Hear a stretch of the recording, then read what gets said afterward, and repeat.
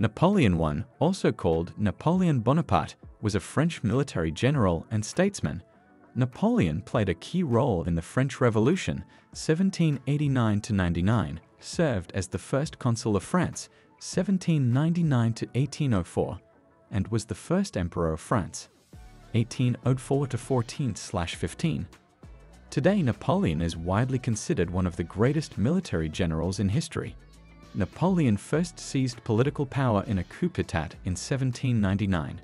The coup resulted in the replacement of the extant governing body, a five-member directory, by a three-person consulate. The first consul, Napoleon, had all the real power. The other two consuls were figureheads. Napoleon eventually abolished the consulate and declared himself Emperor Napoleon I of France. Napoleon first seized political power in a coup d'etat in 1799. The coup resulted in the replacement of the extant governing body, a five-member directory, by a three-person consulate. The first consul, Napoleon, had all the real power. The other two consuls were figureheads. Napoleon eventually abolished the consulate and declared himself Emperor Napoleon I of France. After a series of military defeats in 1812-13, Napoleon was forced to abdicate the French throne on April 6, 1814. Napoleon returned to power in early 1815, but was again ousted on June 22, 1815.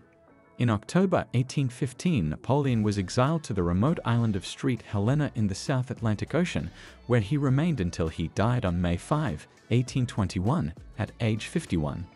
No, Le Petit Caporal wasn't petite, at least not by 19th century standards. The estimated average height of a French man in 1820 was 5 feet 4 inches, about 1.65 meters.